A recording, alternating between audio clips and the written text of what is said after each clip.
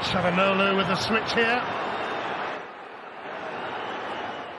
Calhanoglu. Kökçü now for Turkey. Under Calhanoglu! And that was awkward with a bounce just in front of Craig Gordon. Well, he's another special player, and I think Craig Gordon does well here just to read the bounce in front of him. He's not interested in trying to take it cleanly. Fraser. That's uh, a poor pass away from Gilmour, and Turkey could benefit. It slipped through for Under. And Andy Robertson, the captain, got back to foil him. Well, he gets his shot away, but the weight of the pass that he receives here is clearly onside.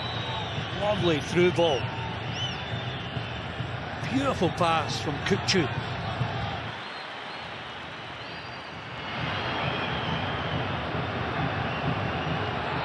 This is, could be ominous. Craig Gordon provides the barrier to Elmali, who's just come on.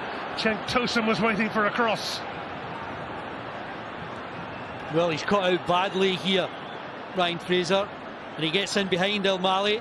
I mean, he strikes it well enough, but Craig Gordon has got his angles all right, and he keeps it out. And Cenk Tosun will be amongst those waiting for it. Kabak there once more, who's come close a couple of times. Calhanoglu sent it in! And this time, he has found the back of the net. Ozan Kabak had given Scotland a couple of warnings, and now he's scored. And Turkey have the lead, not long before the break. Dangerous ball, and you can see we lacked a bit of discipline in our defending there.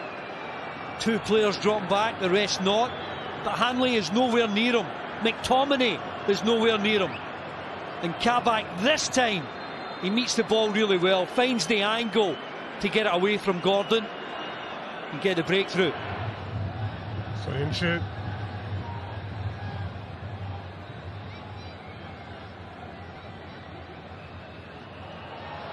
Armstrong benefiting from McGinn's challenge. But he couldn't advance any further.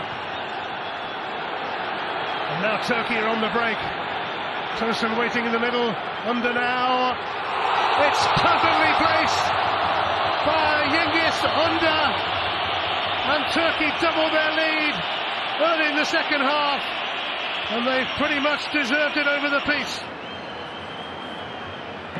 Soft one, doesn't get it. And look how quickly we're hit on the counter. Robertson out of position. Tierney out of position. And this is such a good finish. Actually goes through the legs of Scott McKenna, I think. But he's passed it well away from Craig Gordon.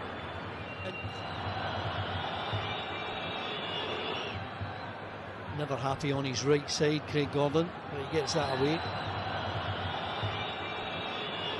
Now John McGinn, so often a talisman for Scotland, staying on his feet. John McGinn, a brilliant finish. It just happens so often, it kind of becomes the norm. John McGinn scores goal number 15 for Scotland. What a finish! And they're right back in this game. Yeah, it's a brilliant goal from McGinn. I mean, he takes this lay off from Robertson and drives forward. He could have gone down there. So you and Soyuncu would have surely have been given a yellow, but he stays on his feet, drives forward, and still manages to control that shot and find the angle to get it away from Çakır. We're right back in it now.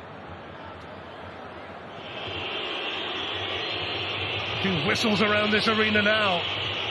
Scotland looking for an unlikely equaliser. John McGinn's corner. And it's going to be another one. Now there's that ball again. And you can see, I mean, that could easily be a penalty. Look at the defending here on Lyndon Dykes. I mean, he's just bundled over.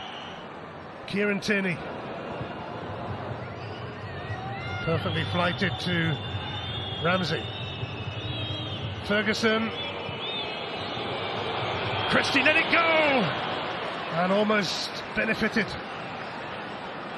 Great link up play with Brown. Christie showing a bit of imagination here, coming short. There's enough pace on that ball to get it through to Brown. On his right foot, Ryan Christie. Had it been on his left, he'd have been much more comfortable. Andy Robertson, over to you, over to the captain. Craig Gordon is up for it. They couldn't, could they?